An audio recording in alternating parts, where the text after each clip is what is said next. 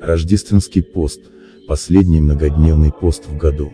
Он начинается с 15-28 по новому стилю, ноября и продолжается до 25 декабря 7 января, длится 40 дней и потому именуется в церковном уставе четырехдесятницей, так же как и Великий пост. Так как заговение на пост приходится в день памяти святого апостола Филиппа, 14 ноября старого стиля, то этот пост называют Филипповым. Установление рождественского поста, как и других многодневных постов, относится к древним временам христианства. Уже с IV века святой Амвросий Медиаланский, Филострий, блаженный Августин упоминают в своих творениях рождественский пост. В V веке о древности рождественского поста писал Лев Великий. Первоначально рождественский пост длился у одних христиан 7 дней, у других – несколько больше.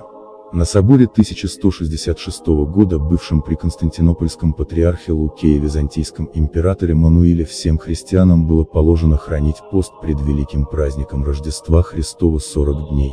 Рождественский пост, зимний пост, он служит для нас к освящению последней части года таинственным обновлением духовного единения с Богом и приготовлением к празднованию Рождества Христова.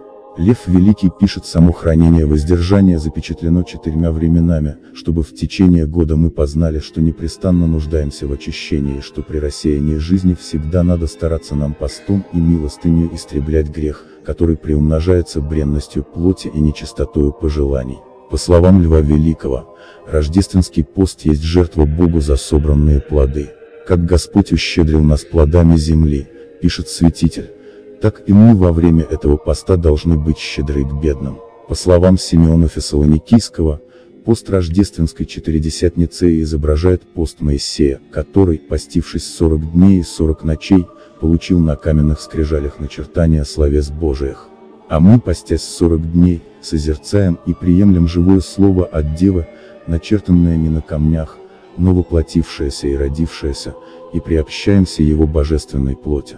Рождественский пост установлен для того, чтобы мы ко дню Рождества Христова очистили себя покаянием, молитвою и постом, чтобы с чистым сердцем, душой и телом могли благоговейно встретить явившегося в мир Сына Божия и чтобы, кроме обычных даров и жертв, принести Ему наше чистое сердце и желание следовать Его учению.